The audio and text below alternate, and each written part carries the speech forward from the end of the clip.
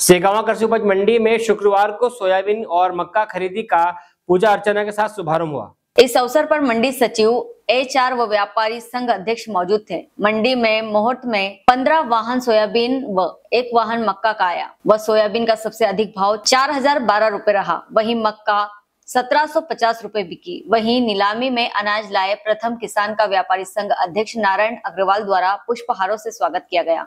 मंडी में अनाज की नीलामी शुरू होने से किसानों को उसका लाभ मिलेगा। सेगांव से भूपेंद्र अग्रवाल की रिपोर्ट।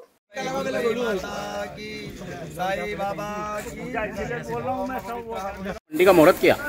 मुहूर्त आज था मंडी का जिसमें पंद्रह ट्राली आवक हुई है सोयाबीन की मक्का। क्या भाव बिका सर भाव है इससे रहा चार हज़ार बारह।